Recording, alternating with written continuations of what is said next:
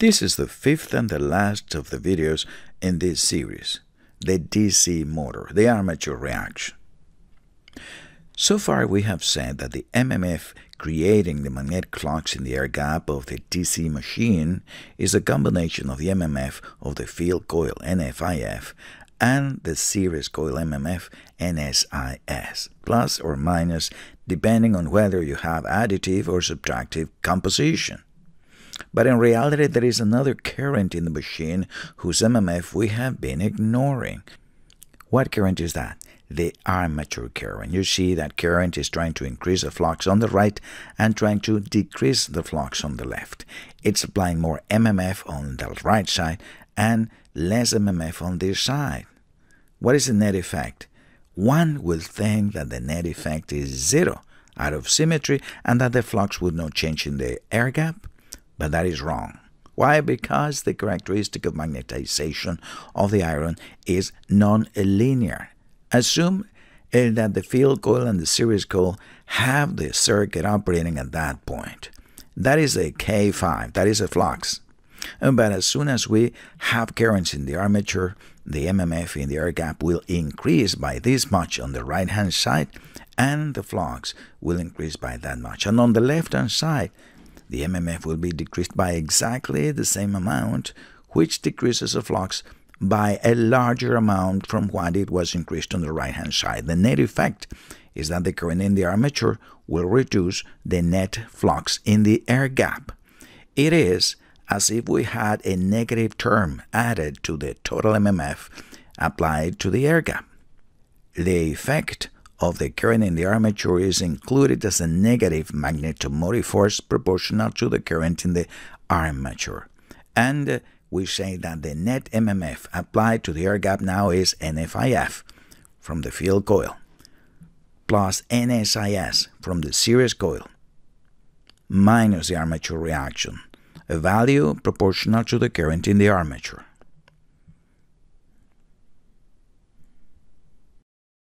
What is the equivalent field current with armature reaction?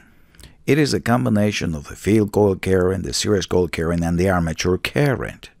The equivalent field current IF asterisk that we use to enter in the curve would produce the same effect, the same flux, is this one. We sum the MMF and divide that by the number of turns in the field coil that is going in the horizontal axis of the magnetization characteristic. In short, when we have the field coil current, the series coil current, and the armature current, we compute the equivalent IF star as above, and then we go to the curve. This curve, the curve for K phi. Let's visualize what is the effect of the armature reaction in the field. The net effect of the armature reaction is to warp the field flux in such a way that what used to be the equator of the magnetic field, that is on the vertical line, will be shifted to the right. But we had set the brushes to be where we expected the voltage in the coils would be zero, that be on the equator, and that is no longer zero. The net result is that now the brushes will be short-circuiting coils with a non-zero voltage. And then we observe that sparkling between the brushes and the commutator that is destructive both for the brushes and for the commutator. Let's see a way of compensating for this effect. The MMF applied by the armature current represented in green when the current is coming towards and in red when the current is going away is given by the right hand rule. The MMF applied by the armature uh, current is like this at 90 degrees with the flux and we know it's going to warp the flux and reduce its net value. What if we install on the faces of the poles as indicated another winding, a compensating winding.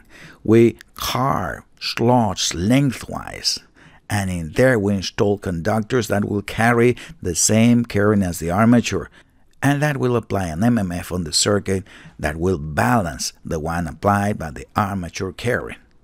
That way, we leave the creation of the flux to the field coil and to the series coil exclusively, as it should be.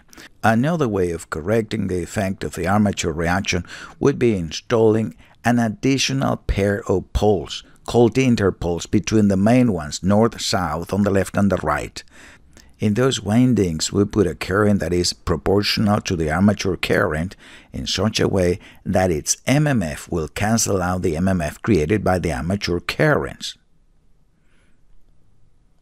In this picture, we see the compensation windings in white installed lengthwise along the machine.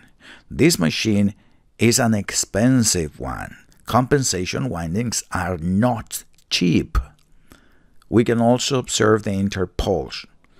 And down here and up there, the field coils. How does compensation windings change what we need to worry about in examinations? If there is a compensation winding, there is no armature reaction to account for. That's a blessing. But when there is no compensation winding, when the current in the armature increases, the flux decreases in the air gap, and with less flux we have more velocity. As the armature current grows, and the velocity of the machine grows as well. Do watch this. Before continuing, I invite you to go to the YouTube channel learnengineering.org and watch this awesome simulation of the DC motor all that we have seen in this series will click in place in your minds and you will be ready for the numerical tutorial time right after this. Go there, I'll be waiting for you.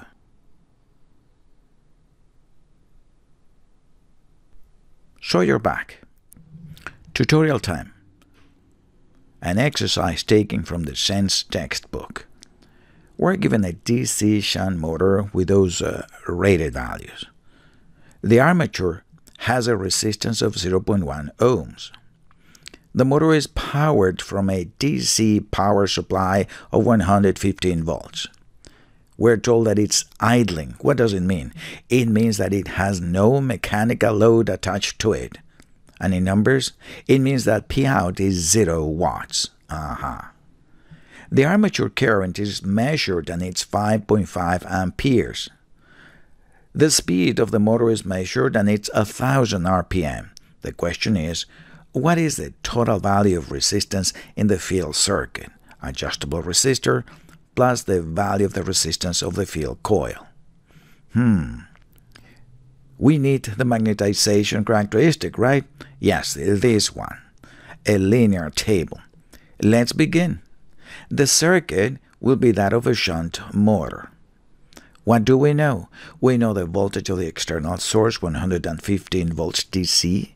We know the current in the armature, 5.5 amperes. We know the resistance of the armature, 0.1 ohms. And what else? We know that EA is K phi omega.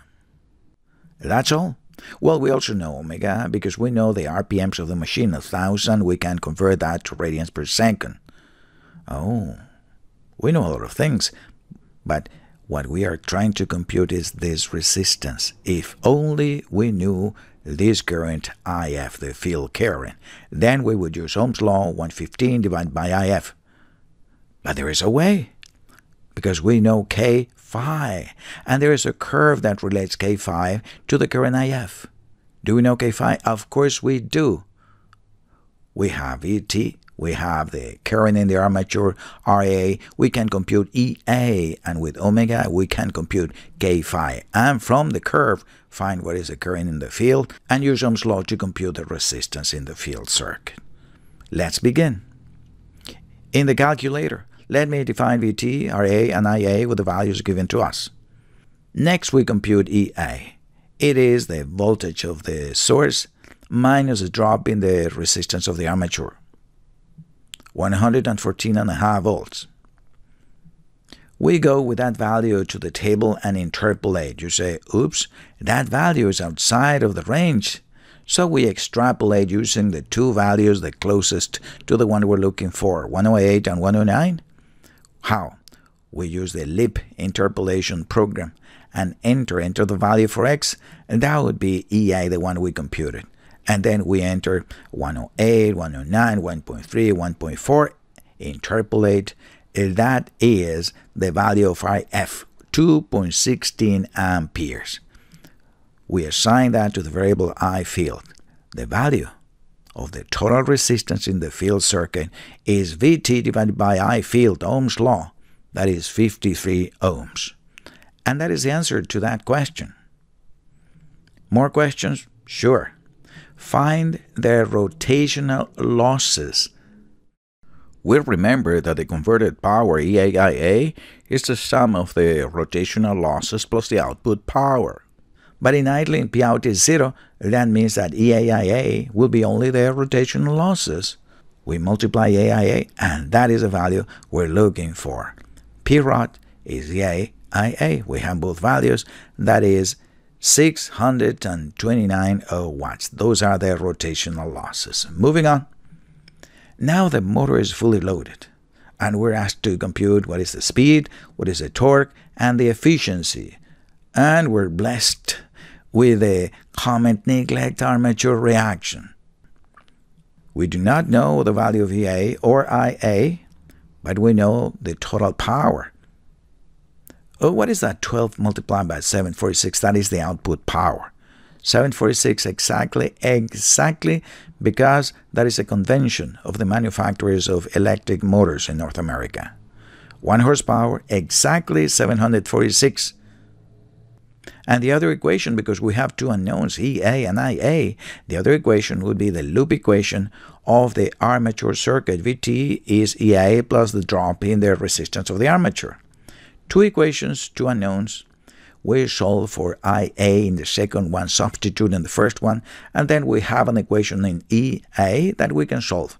In my case, I'm going to use a calculator. First equation is EAX. You say, who is EAX? Well, EA and IA are variables I've already computed, so I'm giving them new names. These are the new values of those. That is equal to, there you go, boom. And the second equation is the loop equation of the armature circuit.